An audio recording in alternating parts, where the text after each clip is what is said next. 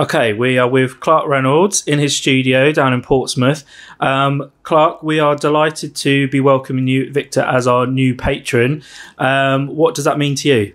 Oh, well, my name is Clarke Reynolds, aka the Blind Braille Artist, and who would have thought it a couple of years ago to be named as a patron of a major charity? And a charity that means so much to me. I've always gone about, I want to be a mentor for the younger generation. If they see someone like me, especially in the creative industry, doing so much, then they can turn around to their parents and say, hang on a minute, I want to be an artist just like Clarke.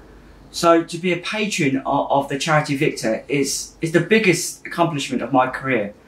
Uh, I've been telling anyone, everyone already. It's, it's just been amazing, and it's such a heartwarming experience. You know, I believe having this platform now, I could do so much, and I want to do so much. You know, the sky's the limit. You know, the only limitations we put on ourselves as a blind community is the limitations we put on ourselves. You know, I always say the only thing I can't physically do is drive because it's illegal. But the rest of the time, I can do anything I want. So, with the the charity VICTA behind me, we are going to go. We're going to reach for the stars, literally.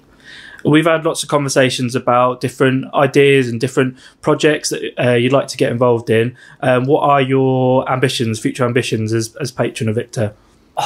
My my as a creator, my mind is going hundred miles an hour because I've got this loads of ideas. It's like your Braille art competition. Well, I knew nothing about it. I only found out about it this year.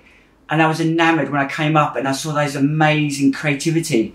And for me, that's where I want. I want this Braille art competition to be the biggest it can be. Why can't it be like the RA show, like the summer show that you have? You know, so for me, I want to get on Blue Peter. I want to get on CBBC and CITV and shout about this. I want every vision impaired child in the country to submit a piece of artwork so that we can have a massive exhibition somewhere in London and I can invite all those celebrities down to actually purchase the art and raise money for the charity. And then top it off to get sponsors so that I can give art packs to all those children that took part. That is one of my big ambitions and I'm going to get there.